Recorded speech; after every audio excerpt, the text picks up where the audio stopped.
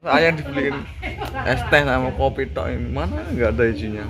Jauh-jauh lu ngantar dari Semarang ke Pekalongan.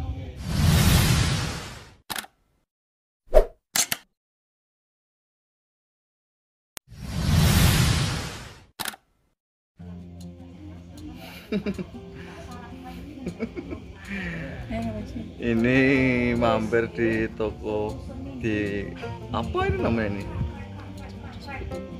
Di ini. Toko mampir apa? Beli kopi doang. Sama es teh. Es teh sama kopi tok ini. Mana? Nggak ada isinya. Jauh-jauh lu ngantar dari Semarang ke Pekalongan. Nggak apa-apa lah. Yang penting setia. Temenin ya. Ke Pekalongan muter-muter mampir belinya kopi.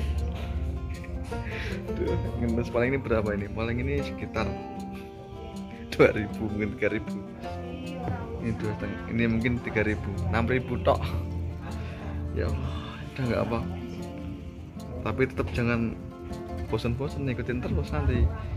Biar tahu Bang Setia ke Pekalongan ke mana aja ya itu juga mau ke pasar Sentono yang tadi saya sebut tadi ada eh, batik-batik terus kemudian pokoknya yang khas-khas Pekalongan ya nanti nanti ke sana. ke sana ya ke sana nggak Beneran lu? nanti review batik. Iya, bener. jangan cuma beli kopi Aku gimana nggak nggak kelihatan lah. udah nggak usah Yaudah. biar Bang Setia aja ya oke mantap